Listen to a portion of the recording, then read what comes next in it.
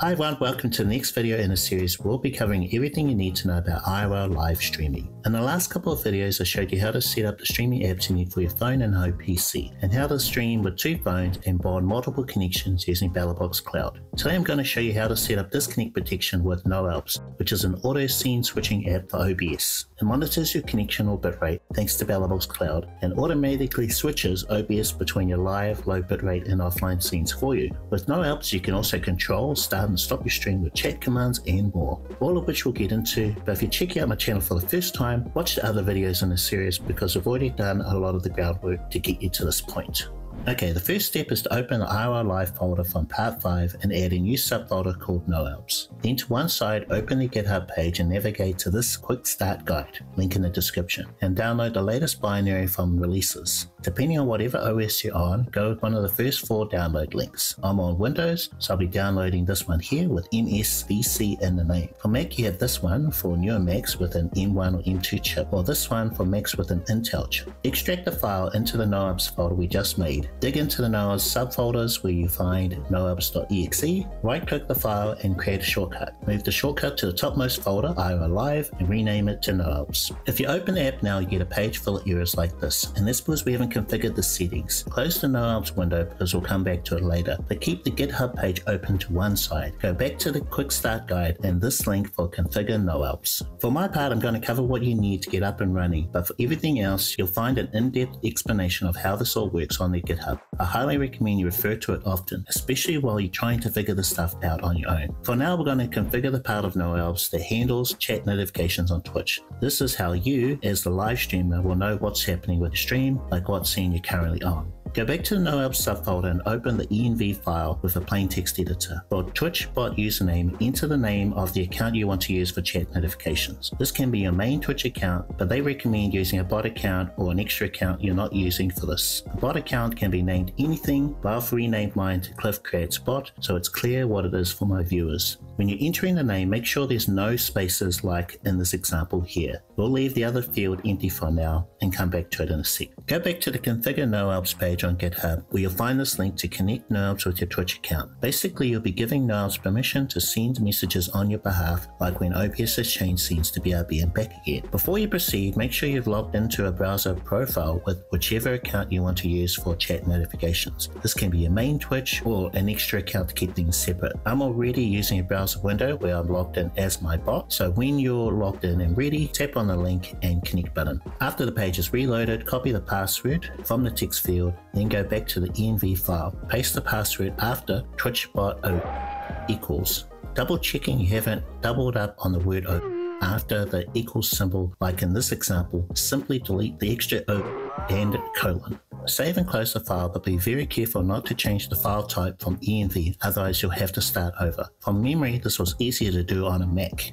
The next step is to configure the part of NOALBS that handles everything else, like what scenes in OBS are for live, low bitrate, privacy mode, your stream server, chat command settings, and more. This is all handled by the config JSON file in the NOALBS subfolder. But before we start configuring things, make a backup copy and name it config backup JSON. You'll need this just in case and for reference. The smallest typo in what we're going to be doing can break NOALBS, and it might be easier to start over using the backup file. Anyway, after creating the backup, open the main config JSON file, not the backup with a plain text editor, Notepad++, Visual Code, or whatever works for you. From the top, change only the following fields, leaving everything else with their default settings. You can change them later if you want. For the user section and name, replace the existing text 715209 with your username, then scroll down. For the switching scene section, replace live with the Cam1 scene in OBS. Likewise, low with the LBR scene in OBS, and BRB with the BRB scene in OBS.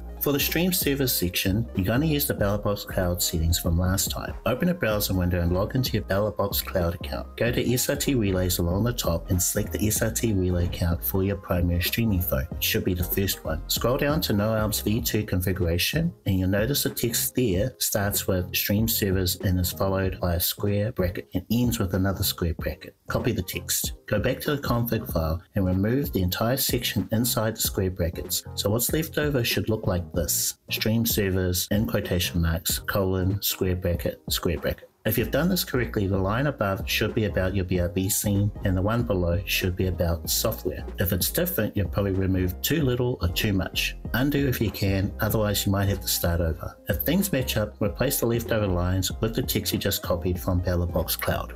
For the software section, you're going to add your WebSocket server info from OBS Studio. Host should be local host. More on this later. Password is your server password in OBS. Port is your server port in OBS. Collections can be a profile and scene collections in OBS if you got one for Twitch and another for Kick, but we're going to leave this for now. For the chat section, replace the username 715209 with your username. Replace admins back with your username. You can add more later. Commands are some of the commands you and your mods can type in chat to fix your stream, get your current bitrate, etc. With user permissions, assigning who can use them. Replace 715209 with your username. For the optional scene section, these are non-auto switching scenes that you can have OBS switch to using a chat command.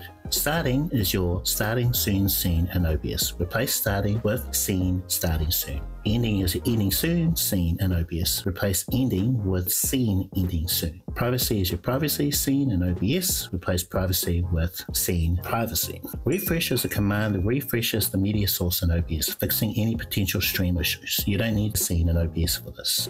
And with that, you can save and close the config file. Double tap to open the exe, and if you get a warning, click on more info to run anyway. If all goes to plan and there haven't been any major changes to NOALBS since I made this video, you should be good to go. Now if you get a page full of errors again, it could be for any of the following reasons.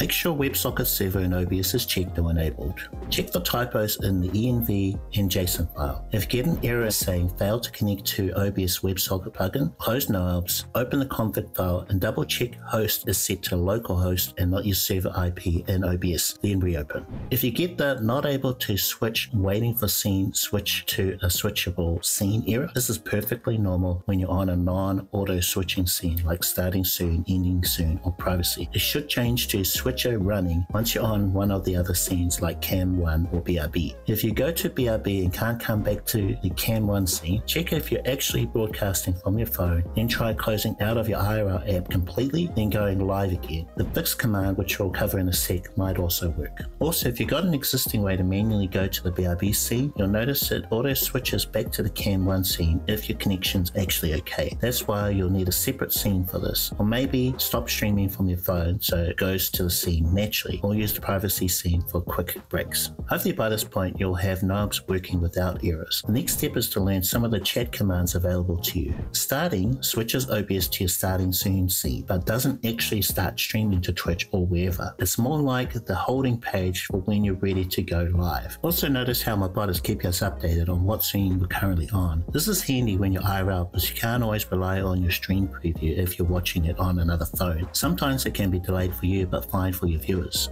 Start is what you'd use for OBS to actually start streaming to Twitch. I have bandwidth mode enabled so I can test this command without actually going live to my viewers. Live is what you'd use to switch to your Cam 1 scene in OBS. So basically you'd use these three commands one after the other. Bitrate is what you'd use to get your current bitrate so you can troubleshoot any possible connection issues. Refresh and fix are commands you use to fix your stream. Privacy switches to your privacy scene in OBS, ending to your ending soon in OBS, and stop for OBS to stop streaming to Twitch. So you basically use these two commands one after the other as well. To manually go to the BRB scene, stop broadcasting from your IRL app and start broadcasting when you're back. There's commands of all sorts which you'll find on the GitHub. But let's say you'd like to extend what NOALBS can do, like using a chat command that can change to almost any non-auto switching scene you want, or a way to activate filters or overlays in a specific order. I'll be covering how to do this in one of these videos right here. This video for PC owners and this one for Mac and PC. Please like and subscribe if you found this video helpful. Thanks for watching and I'll see you over there or maybe over there.